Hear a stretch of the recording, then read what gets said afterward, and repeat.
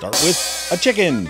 Now, take four lengths of string and start with it underneath just up to the tip of the breast. Go ahead and crisscross it and then fold it underneath each one of the legs. Now you're going to grab the chicken, flip it over. Feels kind of like it's going to come apart, but it doesn't. Slide the string under the wings, crisscross it again, turn the bird back over, and then finish it off with a bow. Nice.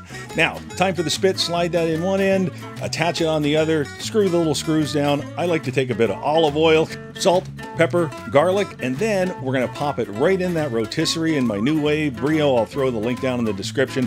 One hour, hit rotisserie, and wee! Yum! Oh, yeah. Wow. Yeah, that'll do. That's a nice looking bird. He appreciates that. Now, give that a cut. And oh man, dripping perfect. Got my chicken bacon. That's as good as it gets.